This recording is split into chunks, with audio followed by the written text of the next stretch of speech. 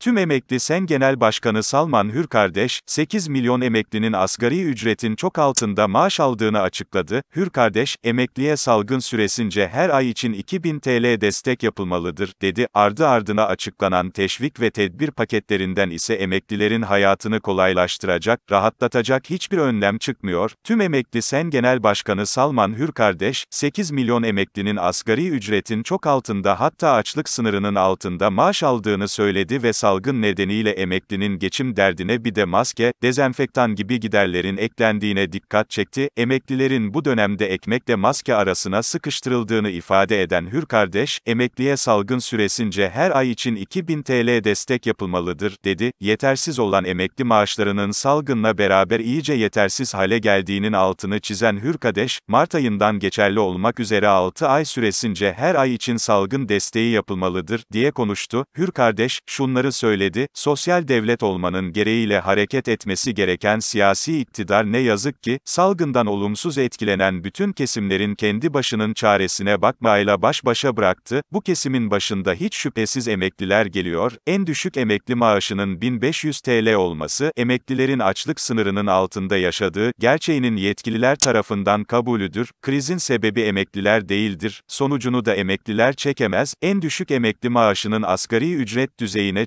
çıkarılmasını isteyen tüm emekliler sendikası, yılda 4 ikramiye de talep etti, sağlık hizmeti alırken yapılan kesinti ve katkı paylarının kaldırılmasını isteyen sendika ikinci bir işte çalışmak zorunda kalan emeklilerin hak kayıplarının da devlet tarafından karşılanması istedi. birlikte diyelim. Ee, Türkiye'de çok sorulmayan, çok flash bir soruyla başlayayım abi. Ne olacak bu emeklinin abi abi? Ee, emeklerin hali e, ölene kadar çalışmak olacak. Öyle kardeşim. Bugün şöyle söyleyeyim. Türkiye'de emeklinin, erkeklerin yüzde yetmişi şu an çalışanlar var. Ee, bayanların da yüzde otuz beşi şu anda çalışıyor. Niye? Yetmiyor. Yetmediği için mecburen ek iş için çalışıyor. Bacılarımız ya merdiven temizliğine gidiyor, annelerimiz, ablalarımız, kardeşlerimiz veya e, bulaşıkhanelerde, yemekhanelerde bulaşık bardak tabak yıkıyor. Bu durumdayız.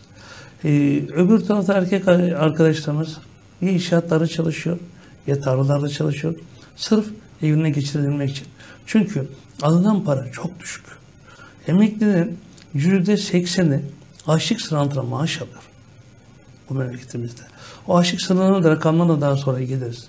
E, bugün Ee, bu noktaya bakıldığında nasıl gelindi? Abi bu süreç e, neden böyle oldu? Emekliler çalışma hayatının içerisinden yayın öncesinde biraz bahsettik. E, kopamıyor. Biraz önce anlattığın rakamlar aslında çok fahiş rakamlar. Ve totaline baktığında da şöyle de bir gerçek var aslında. Ee, hani emeklilik e, son derece hani müreffeh bir hayat olsun. İnsanlar sonuç itibariyle belli bir yaşa kadar e, iş yapıyorlar.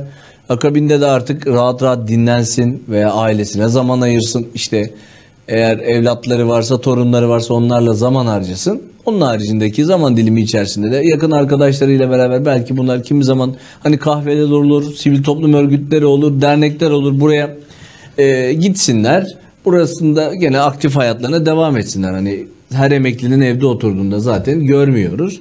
Ama totale bakıldığında herhalde şöyle bir rahatlık da yok abi. Bir klişe oluşmaya başladı. Yani nasıl olsa o emekli diye. Özellikle çalışma hayatının içerisinde hali hazırda yaşamını sürdüren, hala aktif olarak bil fiil çalışan insanlar e, işveren tarafından hani maaş konusunda sorun yaşadıklarında dahi en azından iş arkadaşları ya işte X abinin falanca abinin e, zaten emekli maaşı var. Hani o biraz daha kotarır ama bizi daha öncelikli bu maaş sırasına koyun dedirtiyor. Ama oraya baktığında senin pencerenden hiç öyle görünmüyor. Şimdi Türkiye'deki bir kere o zaman Türkiye'deki enflasyonu hesaplamak lazım. Türkiye'deki biçimleri hesaplamak lazım. Bakın eee, ben şu anda bu hükümetimizde ve iktidar partimizde herhangi bir sözümüz yok. Nasıl götürüyor, nasıl e, hesaplanıyor bilmiyorum ama benim hesabımda şöyle bir olay var. Mesela dünyada hiçbir ülkesinde fiyat artışı artarken enflasyon düştüğü bir ülke yok. Ama benim ülkemde düşüyor. E, 407 parçalı hesaplanan kalemde bugüne baktığımızda 407 kalem hesap bugüne baktığımızda nasıl diyeyim size Yani bizim gerçeğimizi 15-16 kalem burada bizim gerçeğimiz. Pazarın benim gerçeğim, marketin benim gerçeğim. Ve beni pimpon topuna, arabanın lastiğine, arabanın kayışına, arabanın ne bileyim e, contasıyla ölçersen beni e, yaşatamazsın. Verdiğin zaman bize enflasyon zam veriyorsun. Bir kere, bir kere ben Sayın Cumhurbaşkanımızdan her sene söylüyorum. Parlamentodaki bizi temsil eden milletvekillerimizden. Emekli enflasyon hesabından çıkarsın. 1990 yılı yılında bakın bu 99 yılında e, IMF'nin diretmesiyle emekliler hesaplaması enflasyon paketine girildi. Bizi buna koymasınlar. Çünkü niye? Emekliler arasında bile, maaş arasında bile uçurumlar artıyor, uçurumlar çıkıyor. O yüzden bizi e, bir an önce ben Cumhurbaşkanımızdan rica ediyorum. Herkese eşit hesap versin. Bize enflasyon paketi hesaplayaraktan bizi hesaba koymasın. Ben şöyle söyleyeyim. Bundan 6 ay önce veya 7 ay önce bir pazarıma çıktığımda bir pazarıma çıktığımda 100 liraya pazarımı çantamı dolduruyordum. Pazar çantamı. Ama ben şu anda ben şu anda 180-200 lira dolduramıyorum bir pazar çantam. Mehmet Ali kardeşim. Şimdi bana enflasyon nasıl Türkiye'de yüzde e, 20 yıllık diyebiliriz? Diyebilir miyiz? Geçen sene yüzde 9 nokta aldık. Bu 14 aldık. Toplamda yüzde 20 zam aldık.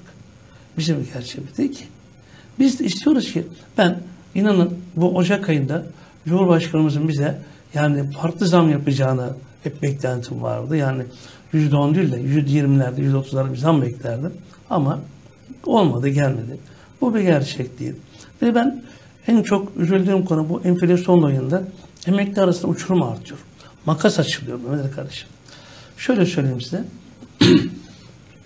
Siz bugün diyelim ki biz e, ikimiz aynı yer, aynı gün, aynı zamanda emekli olduk. E, ama ben e, hesap olarak söylüyorum, bunlar tahmin olarak söylüyorum rakam ki bir rakam ortamızı bulalım diyerekten. Ben asgari ücretten emekli oldum. Evet. 5 bin lira emekli oldum. Bana 1000 lira maaş bağladı. Siz de tabandan bağlı çalıştınız. Tabandan çalıştınız. Ee, maaş aldınız. 9 bin lira emekli oldunuz. Size de 2 bin lira bağlandı. Bakın bu yani bu şey değil. Hani Allah'ın şey değil. Ben tam bir hesabı bulmak için söylüyorum aramızdaki. Tamam aynı gün emekli olduk. Ben sana diyemem niye sen 2000 lira aldın Mehmet Ali? Bana niye 1000 lira bağlar? Diyemem. Niye? Ben 1 lira öderken sen 5 lira ödemişsin. Ben 5 bin lira ödemişim. Sen 9 bin lira ödemişsin. Burada herhangi bir aç şeyimiz yok. Ama 5 bin lira ayrıldık. 5 sene sonra beraber karşılaştık. Mehmet Ali maaşın ne oldu? Mehmet Ali maaşı 3 bin lira oldu. Benim maaşım ne oldu?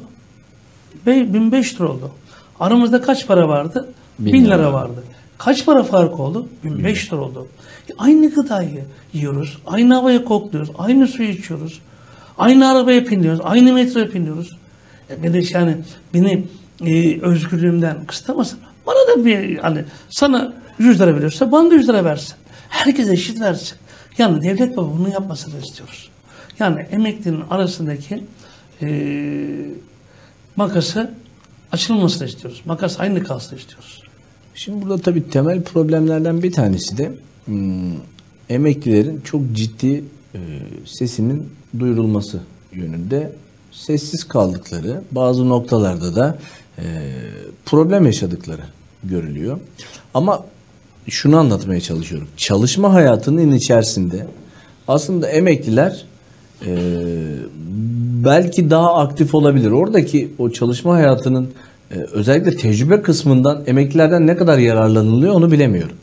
Şimdi Mehmet kardeşim bakın eee, ben şunu söyleyeyim. Bugün eee bir önce bir tofaşı. Şimdi eee, emekli işine gelelim. Şu anda bugün SSK'lı olanlar 2008'den sonra SSK'lı olanlar alacağı emek şey olacağı yaş 65 yaş. Bugün Tofaş gibi, Renault gibi fabrikalarda, e, büyük fabrikalarımızda, şimdi biliyoruz ama burada fabrikalarımızda yani 65 yılında çalıştıran eleman olabilir mi? 50-55 yılında geldi mi hadi diyor sen emekliğinde olmuş diyor sen git diyor. Daha gencini alayım ustam diyor. Sen git. Bana daha genci lazım. Bugün bir hastanemizde ama devlet ama özel hastanemizde 65 yaşında 60-65 yaşında bir hemşire çalıştırır mısın? Yok. İmkanı yok. Yani bu yüzden bu bile Türkiye'de bizim için yaş olayı farklı. Çalışma saatlerimiz uzun. Avrupa'da en çok uzun çalışan ikinci ülkeyiz. Bu saatler çalışsın. Saatler işsizlik olanlarsın. Üç var, dört var diyorsun. İşsizliklerimiz düzelsin. Emeklerimizin e, yaşı farklı olsun. Yani bugün yani e, o kadar konulara giriyoruz